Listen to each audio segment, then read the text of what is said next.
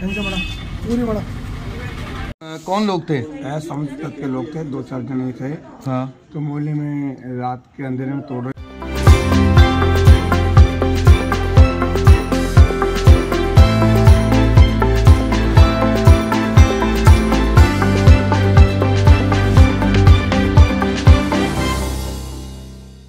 ये वैसा ही ये बक्सी कोठी के अंदर पीर मट्ठा गली के अंदर मंदिर है, बहुत प्राचीन मंदिर है।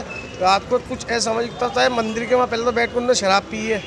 शराब पीने के बाद वहाँ बोतलें रख के उसके बाद मंदिर को मतलब पत्थर से उनसे निकाल के तोड़ के खंडित करा गया पूरा उसको।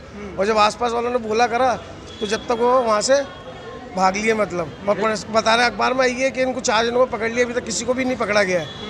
और रात उसमें पुलिस वाले साथ में थे उनको जो वहाँ पे थे उस टाइम मौजूद तो उन्होंने कहा इनके कागज़ चाहिए ऐसे करके जब तक उनको साइड में ले गए जब तक उन्होंने पूरी मूर्तियाँ खंडित कर दी। ये सौ दो सौ साल पुराना मंदिर है शिव परिवार का।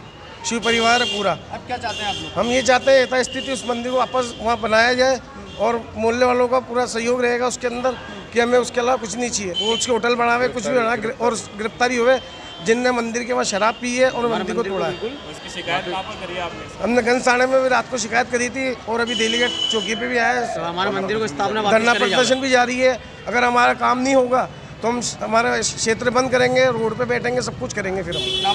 पंकज व्यास। घटना है जिसे कि मतलब कुछ असामाजिक तत्वों ने मिलकर चुपचाप से इस मंदिर को खंडित करा मूर्तियों को तोड़ा गया और जानबूझकर हिंदू भावना को भड़काने के लिए ऐसा उत्पन्न तो किया गया। और इस मंदिर से हमारे पूरे क्षेत्रवासियों की आस्था जुड़ी हुई है। ये मंदिर आज करीबन 300 साल पुराना है। और जब ये लोग कहते हैं कि इस मंदिर को मतलब इस प्रॉपर्टी को बेच दिया गया है, लेकिन इस प्रॉपर्टी के बेचा, बेचान के अंदर कहीं ये उल्लेख नहीं किया गया है कि इस मंदिर को भी बेचा गया है।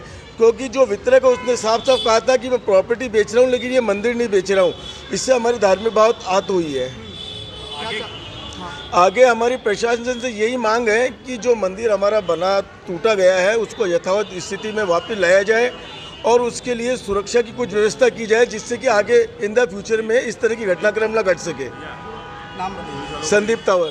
तो 10 से 11 के बीच में जो बक्सी ओटी पीर गली में प्राचीन शिव मंदिर है उसको कुछ असामाजिक तत्वों ने तोड़फोड़ करके शिव परिवार की प्रतिमा को खंडित कर दिया है। सबसे बड़ी बात है, वहाँ के लोगों का कहना है कि इसमें पुलिस वालों का सपोर्ट भी था। पुलिस वाले वहाँ खड़े होके वो मंदिर तोड़ा रहे हैं। तो हमारी प्रशासन से यही मांग है कि एक तो मंदिर वापस बनवाया जाए सह सम्मान बनवाया जाए